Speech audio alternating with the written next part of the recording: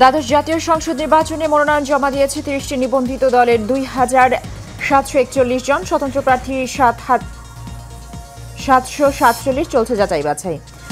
কোনো বাধাতে নির্বাচনের ট্রেন থামবে না। মন্তব্য ওবায়দুল কাদেরের। দমন পীড়ন করে টিকতে পারবে না সরকার, বললেন নজরুল ইসলাম খান। ঢাকা কক্সবাজার রুটে বাণিজ্যিকভাবে ট্রেন চলাচল শুরু, খুলল সম্ভাবনার নতুন দুয়ার।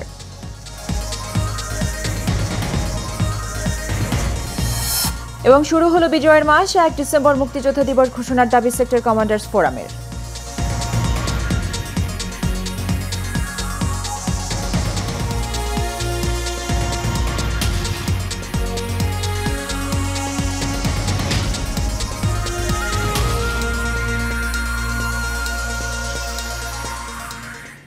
স্বাগত এশিয়ান প্রাইম নিউজে। দর্শক, পুরো সংবাদ জুড়ে সাথে আছি সুবর্ণা গোলন্দাজ। শুনছিলেন বিআরবি কেবল ইন্ডাস্ট্রিজ লিমিটেড সংবাদ শিরোনাম, চলে যাচ্ছি বিস্তারিত সংবাদে। দ্বাদশ জাতীয় সংসদ নির্বাচনে প্রার্থীদের মনোনয়নপত্র যাচাই বাছাই প্রক্রিয়া শুরু হয়েছে, যা চলবে চার ডিসেম্বর পর্যন্ত। এছাড়া মনোনয়নপত্র যাচাই বাছাইয়ের রিটার্নিং কর্মকর্তাদের সিদ্ধান্তের বিরুদ্ধে আপিল গ্রহণ ও নিষ্পত্তি কার্যক্রম চলবে পাঁচ থেকে পনেরো ডিসেম্বর পর্যন্ত। আঠারো ডিসেম্বর প্রতীক বরাদ্দের পর শুরু হবে প্রচারণা। এর আগে গতকাল মনোনয়নপত্র জমা দেওয়ার শেষ দিনে তিনশো আসনে তিরিশটি নিবন্ধিত রাজনৈতিক দলের দুই হাজার সাতশো একচল্লিশ জন মনোনয়নপত্র জমা দিয়েছেন। নির্বাচনে আওয়ামী লীগের প্রার্থী দুশো আটানব্বই জন জাপার দুশো ছিয়াশি তৃণমূল বিএনপির একশো একান্ন, জাসদ একানব্বই, কৃষক শ্রমিক জনতা লীগ চৌত্রিশ, ইসলামী ঐক্যজোট পঁয়তাল্লিশ, জাকির পার্টি দুশো আঠেরো, ইসলামী ফ্রন্ট বাংলাদেশ উনচল্লিশ, ন্যাশনাল পিপলস পার্টি একশো বিয়াল্লিশ, কংগ্রেস একশো ষোলো ও তিনশো আসনের স্বতন্ত্র প্রার্থী হিসেবে মনোনয়ন জমা দিয়েছেন সাতশো সাতচল্লিশ জন।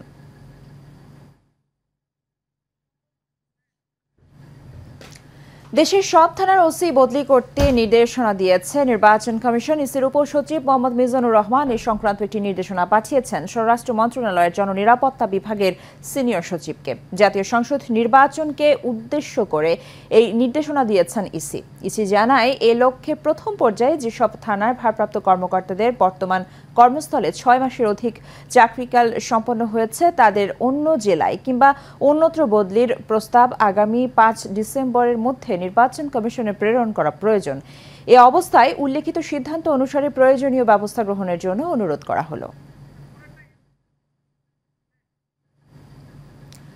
এদিকে নরসিংদীতে নির্বাচনী আচরণবিধি ভঙ্গ করে উস্কানিমূলক বক্তব্য দেওয়ার অভিযোগে দায়েরকৃত মামলা নরসিংদী জেলা ছাত্রলীগের সভাপতি আসানুল ইসলাম রিমনকে গ্রেফতার করেছে ডিবি পুলিশ।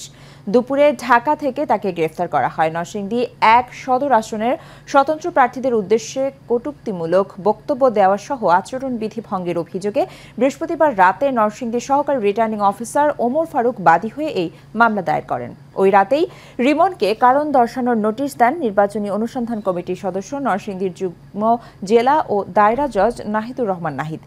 এর আগে দ্বাদশ জাতীয় সংসদ নির্বাচনে নরসিংদী এক সদর আসনে স্বতন্ত্র প্রার্থীদের পেটানোর হুমকি প্রদান করে রিমনকে, রিমনের একটি ভিডিও সামাজিক যোগাযোগ মাধ্যমে ভাইরাল হয়। আর কোনো বাধাতে নির্বাচনের ট্রেন থামবে না বলে জানিয়েছেন আওয়ামী লীগ সাধারণ সম্পাদক ওবায়দুল কাদের।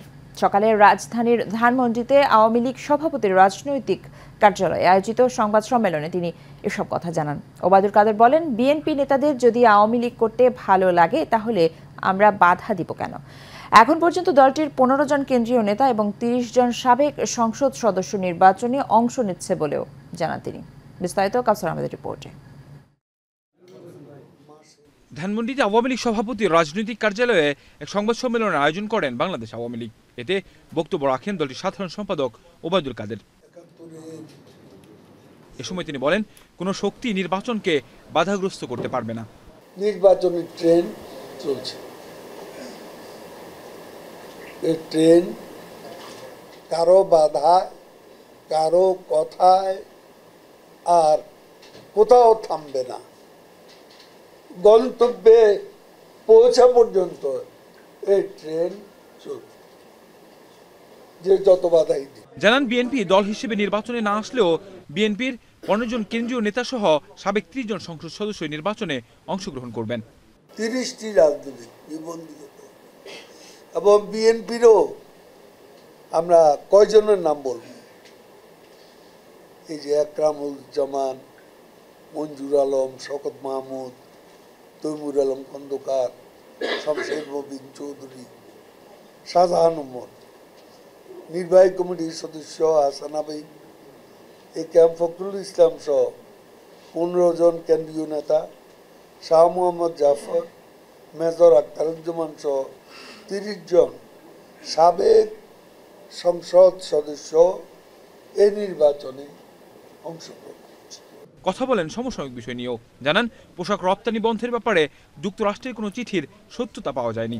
বাংলাদেশের সাথে ইউরোপীয় ইউনিয়ন, আমেরিকার যে সম্পর্ক, এই সম্পর্ক আমরা তো মনে করি সম্পর্কে মাঝে মাঝে টানা হতে পারে। এটা বন্ধুত্বে হবে কিন্তু শেষ পর্যন্ত সবাই সবার স্বার্থে। বাংলাদেশকেও তাদের দরকার, আমাদেরও তাদের দরকার। তাদেরও আমাদের দরকার বলেন নির্বাচনে কি আসলো কি আসলো না এর চেয়ে গুরুত্বপূর্ণ হলো জনগণের অংশগ্রহণ। Kawsar Ahmed Asian television Dhaka. হরতাল অবরোধ করে নির্বাচন প্রতিহত করা যাবে না, উল্লেখ করে আওয়ামী লীগের যুগ্ম সাধারণ সম্পাদক মাহবুবুল আলম হানিফ, এমপি বলেছেন, বিএনপি এখনও ভ্রান্ত রাজনীতির মধ্যে ঘুরপাক খাচ্ছে। সকালে কুষ্টিয়ার পিটিআই রোডের নিজ বাসভবনে সাংবাদিকদের প্রশ্নের জবাবে হানিফ বলেন, কোনো রাজনৈতিক দল নির্বাচনে অংশগ্রহণ করলেও সেটা বড় কথা নয়। নির্বাচনে সাধারণ জনগণের অংশগ্রহণটাই হচ্ছে মুখ্য। আগামী সাত জানুয়ারি নির্বাচন হবে এবং বিপুল সংখ্যক ভোটাররা স্বতঃস্ফূর্ত ভোট প্রদান করবেন বলেও আশাবাদ ব্যক্ত করেন তিনি। হরতাল অবরোধের নাম করে পেট্রোল দিয়ে, বাসে আগুন দিয়ে, ট্রেনে আগুন দিয়ে সন্ত্রাসী কর্মকাণ্ডের মধ্যে চলে গেছে। বিএনপি এখন ভ্রান্ত রাজনীতির মধ্যে ঘুরপাক খাচ্ছে। বিএনপির এই ভ্রান্ত রাজনীতি, এটা তাদের জন্য খুব একটা সুফল বয়ে আনবে না। অংশগ্রহণমূলক নির্বাচন বলতে কি বোঝায়? অংশগ্রহণমূলক নির্বাচন বলতে জনগণের অংশগ্রহণটা। এটি হলো মুখ্য। ভোটারদের অংশগ্রহণ। বিএনপির স্থায়ী কমিটির সদস্য নজরুল ইসলাম খান বলেছেন, গণবিরোধী সরকার দমন পীড়ন করে টিকে থাকতে পারবে না। গণতন্ত্রের লড়াইয়ে বিএনপি অবশ্যই বিজয়ী হবে। সকালে জাতীয় প্রেস ক্লাবের সামনে সম্মিলিত শ্রমিক পরিষদ এসএসপি আয়োজনে শ্রমিক সমাবেশে তিনি সব কথা বলেন। এ সময় তিনি আরও বলেন, দেশে গণতন্ত্র নেই বলে সব শ্রেণির মানুষ অধিকার থেকে বঞ্চিত। তিনি বলেন, সুষ্ঠু ভোটের মাধ্যমে ক্ষমতায় থাকলে সরকার শ্রমিকের কথা ভাবত। চলমান আন্দোলন দমনে সরকার, বিএনপি সহ বিরোধী রাজনৈতিক দলগুলোর উপরে যে দমনপীড়ন অব্যাহত রেখেছে, তার তীব্র নিন্দাও জানান নজরুল ইসলাম খান।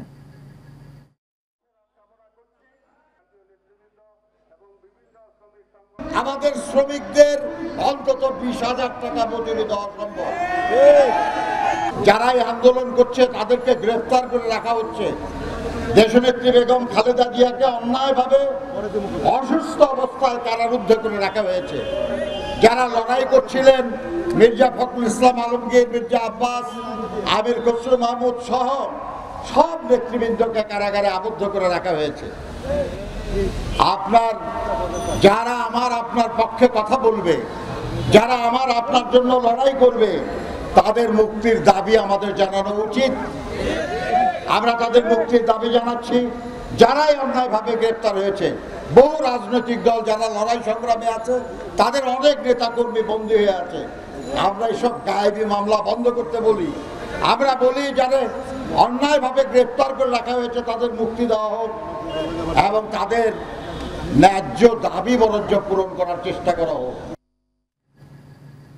এ যেন এক দীর্ঘ অপেক্ষার অবসান প্রথমবারের মতো হুইসেল বাজিয়ে বাণিজ্যিক ট্রেন কক্সবাজার এক্সপ্রেস ছেড়ে গেল ঢাকার উদ্দেশ্যে। দুপুরে কক্সবাজার আইকনিক রেল স্টেশন থেকে এক হাজার বিশ জন যাত্রী নিয়ে এই রেল যাত্রা করে। প্রথমবারের মতো ট্রেনে করে পর্যটন নগরী থেকে রাজধানীতে যেতে পারে উচ্ছ্বাসের শেষ নেই যাত্রীদের।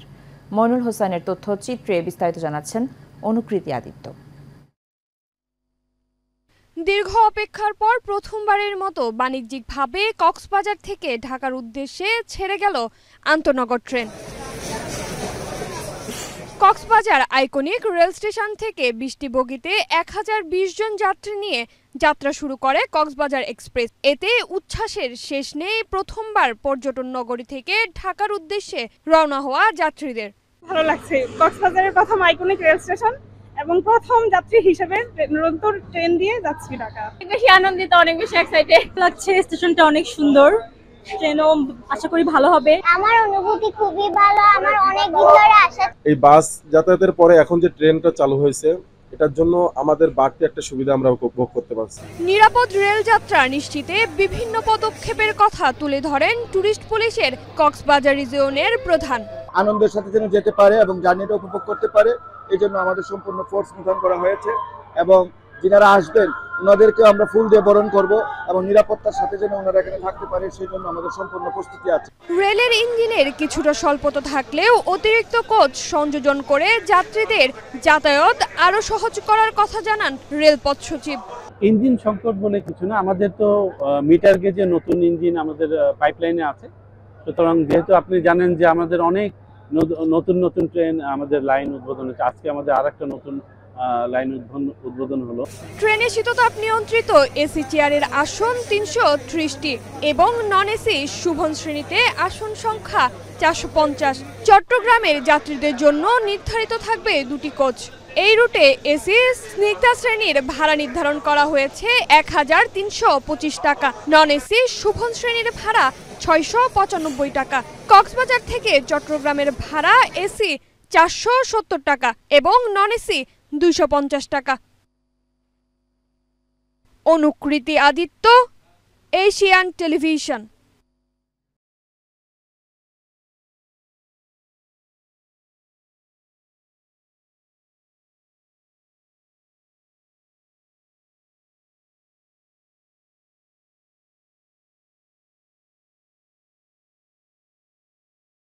খবর।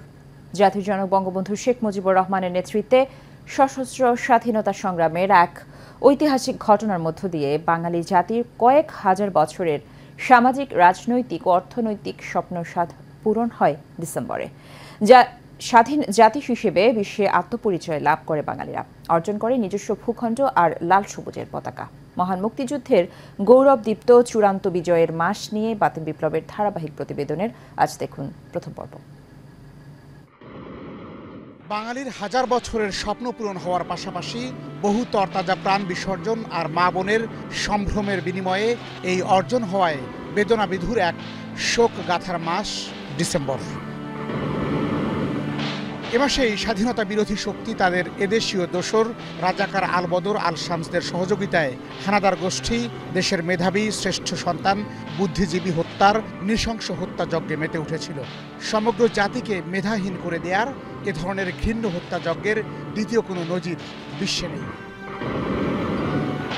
বঙ্গবন্ধু একাত্তরের পঁচিশে মার্চ রাতে পাক বাহিনীর হাতে গ্রেফতার হওয়ার আগে আনুষ্ঠানিকভাবে স্বাধীনতার ঘোষণা দেন এবং তার ডাকে বাঙালি জাতি ঐক্যবদ্ধভাবে মুক্তিযুদ্ধে ঝাঁপিয়ে পড়ে দীর্ঘ ন মাসের সশস্ত্র জনযুদ্ধে ষোলো ডিসেম্বর জাতির চূড়ান্ত বিজয় অর্জিত হয়।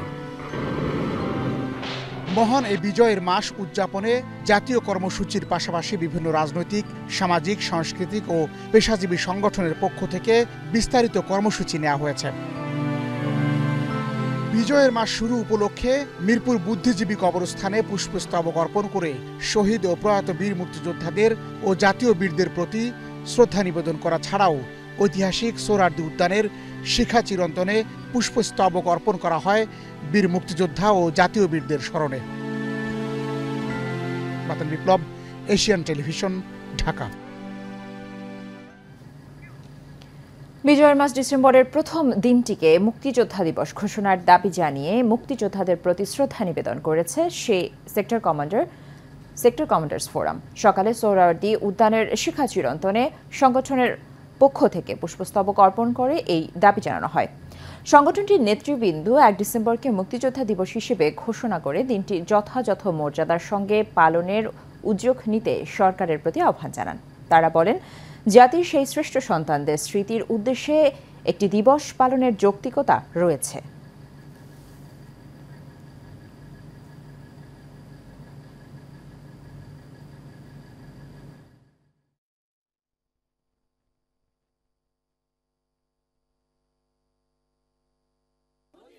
ঢাকা দক্ষিণ ঢাকা মহানগর।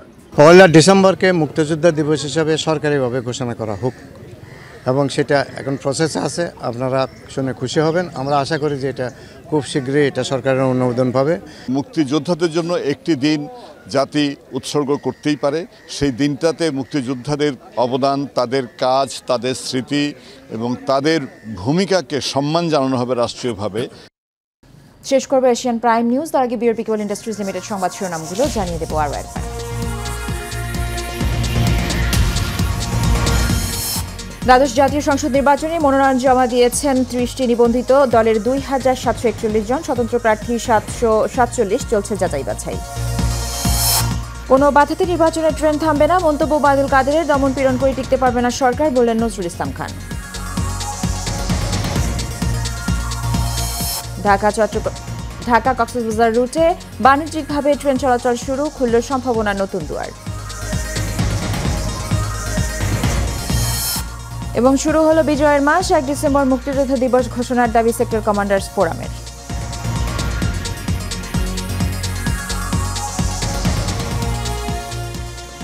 এশিয়ান প্রাইম নিউজ এ পর্যন্ত আমাদের পরবর্তী সংবাদ দেখার আমন্ত্রণ রইল। ধন্যবাদ সাথে থাকার জন্য। আল্লাহ হাফিজ।